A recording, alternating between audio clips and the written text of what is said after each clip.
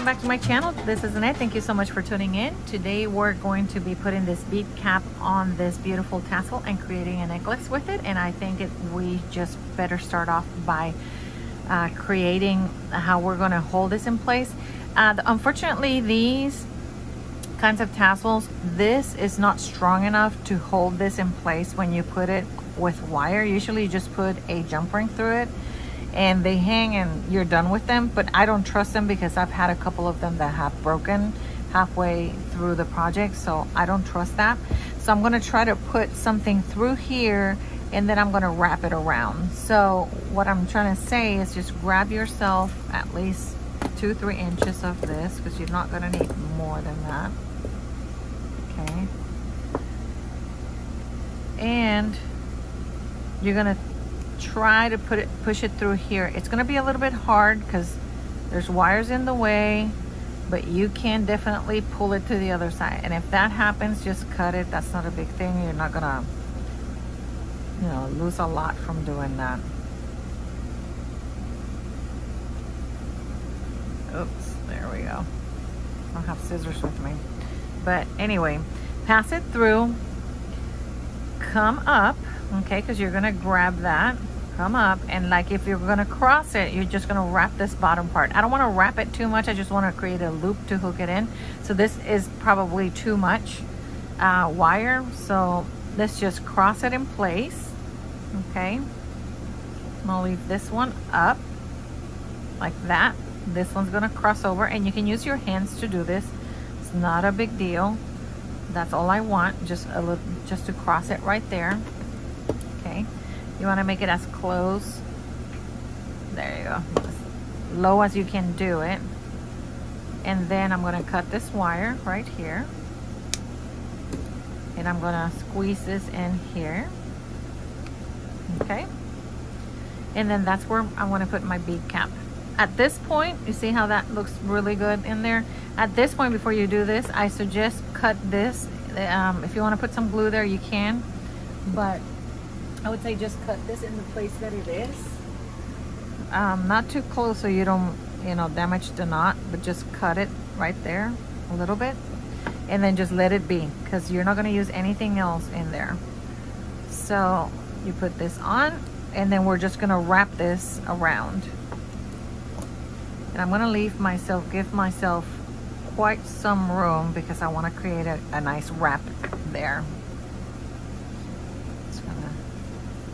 And I want that loop, I don't want that loop to be too big, but I do want it to be nice enough to where I'm gonna put, thread this through. And then you're just gonna grab this and you can start wrapping. Make it as close as you can. It's gonna go all the way down. It's gonna push that bail down. I mean that bead cap. I keep saying bail, but well, the little bead cap bail, whatever you want to call it. Not a bail. A bail is something different, but a bead cap. Keep going, keep going, keep pushing, pushing down. There you go. I think that's good because I want some movement in there. I don't want it to be stiff. So that should be good enough just to keep it in place. And then I'm going to squeeze that in there so it doesn't hurt anything and that's how I created my uh, my tassel. This is the decoration that's gonna go on my necklace. That's so cute. I love that. Okay so that we have now set. So we're gonna set this aside and I'm gonna bring out a couple of beads um, that I'm gonna string. I'm gonna put some chain on this and I'm thinking of using all of these. I'm not sure yet, but I might just do something like that. I could hang some this from here and it would look really pretty and then I can put, um, you know, just bring it across. You know, you can do many things. I like this bead. I like these. So I'll see what I'm gonna do. So let me start moving all these things to the side and let's start thinking about what we can do.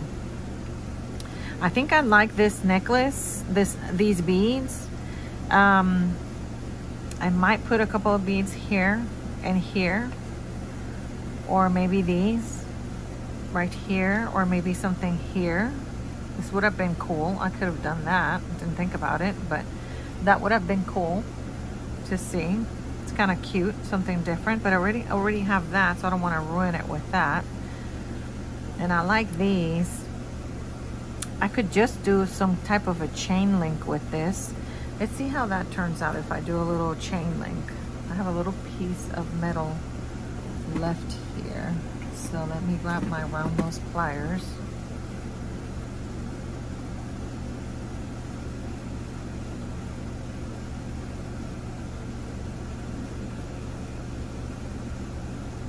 Right there.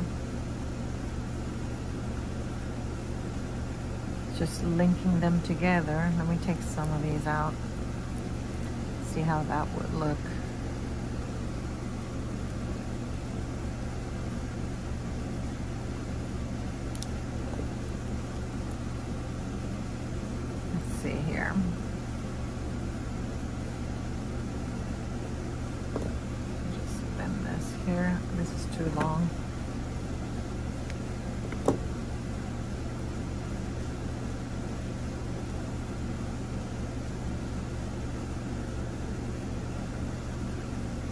That's cute. Let's do that.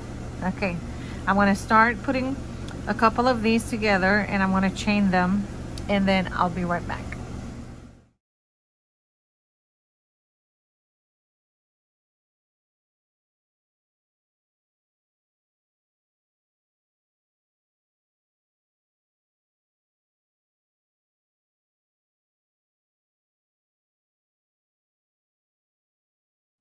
Okay, so I have made a couple of these. I could put, uh, I could put them together or I could put a jump ring in between them. So it doesn't really matter. Uh, if you want more movement, you can do a jump ring. If not, I'll show you how to, well, I think I'm gonna do them without the jump ring. So let's just do that. I'm just gonna open this one right here, front to back. I'm gonna put this one through here. Close it. There's one.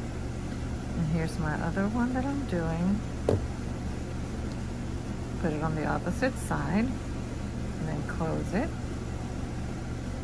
Front to back, remember. There we go.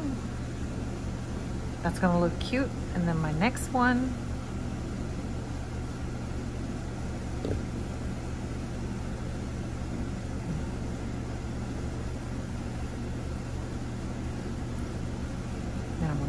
it. And then next one on the other side.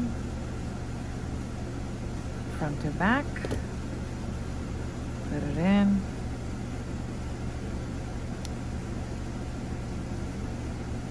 There we go. Let me make it straighter. There we go. So I think that looks so cute.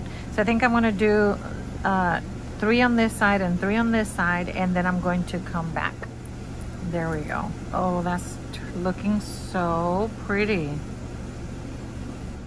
You know what? I was thinking I was gonna make I was gonna put some um, I still can put some of these beads in here.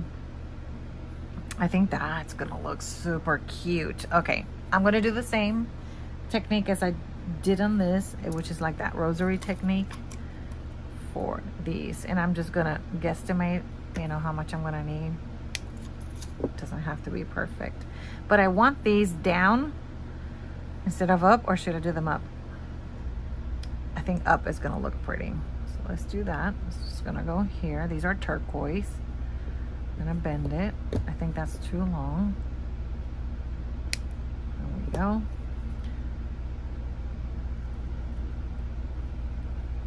Gotta hold it in place because this will move if you don't hold it in place. There you go.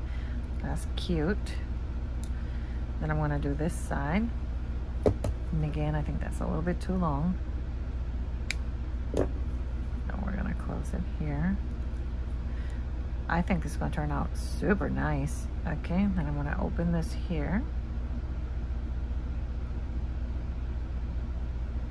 Put this one in.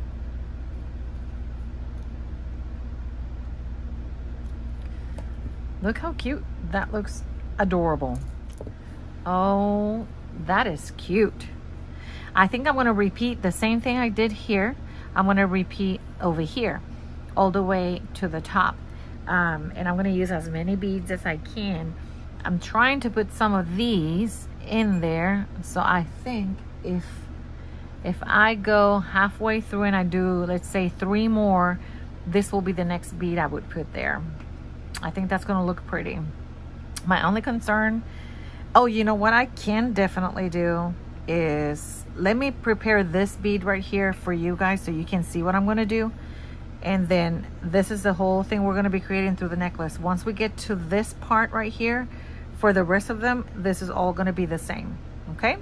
But let me show you what I will do with these beads. I think these are so pretty.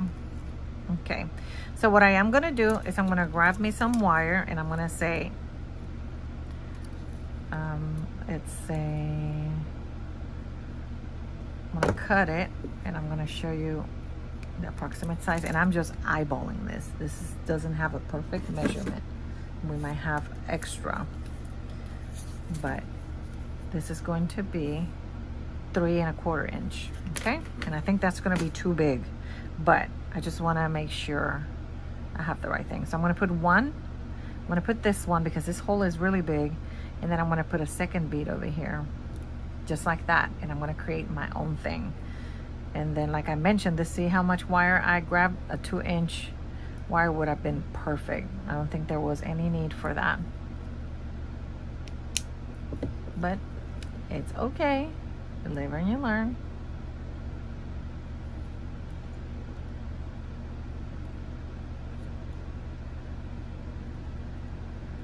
Go. So there's one.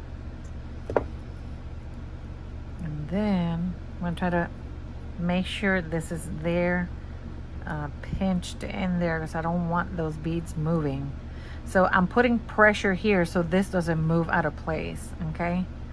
putting pressure to bend this right here and you see how much we had left over so you don't want to have that so next time I'm just going to do one and a half maybe maybe two inches on that okay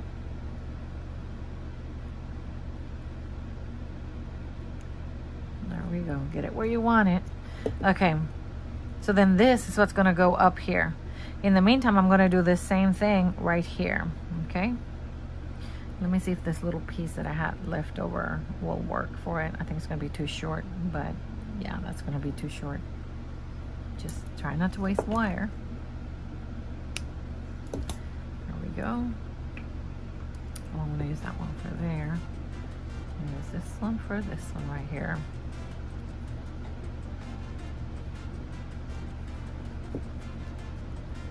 Whoopsie, where are you going? You going somewhere?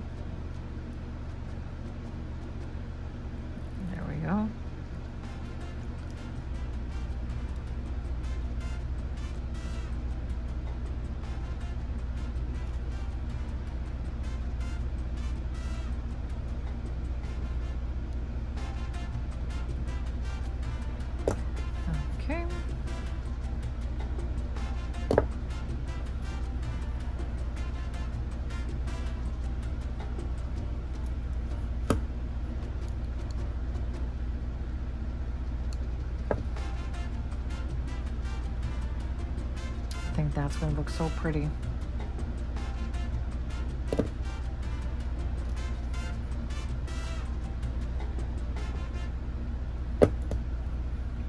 I think that's going to look really pretty. Okay, let's do this side. And I'm going to do the same thing repeated here and then I'm going to do this on the rest of it. So I'll be back. Okay, so I have finished and put all the links in here it turned out to be so gorgeous. So now I'm going to do just a little closure like a little clasp here. See how this one's longer than this one? That's going to be just fine because I'm going to put a little jump ring here and I'm going to make the clasp on this side so it ends up being the perfect size for it okay? So what I'm going to do here is I'm going to do a little curly Q little little bit of a loop here okay? Just like that. I'm going to grab a little looper if you have it. You can use this side. But if you don't have it, you can use your round nose pliers like these. Put it over here, okay, at the end. And just twist it to the other side. You see it there? And then right here, what I'm gonna do is I'm gonna do another curly Q out. Let me show you what I'm, just like that, okay?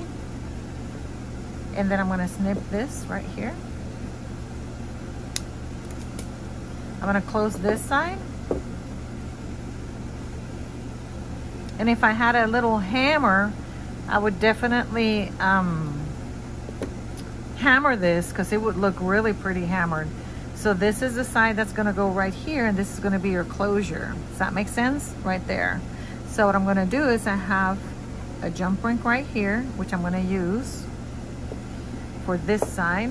So I have where to put my actual closure through, okay? There we go. And I have a little teeny tiny jump ring right here, which I'm gonna use for this side. And then I wanna close it. I you can get really elaborate with the closure here, but I think I don't need anything more than this. Although this is big enough, um, the the um, necklace is big enough to where you can just put it around your head and be done with it. Okay, look how pretty that turned out. I know you can't see very well because this is a white background, but I'm gonna move all this stuff and I'm going to show you. Let me move this aside.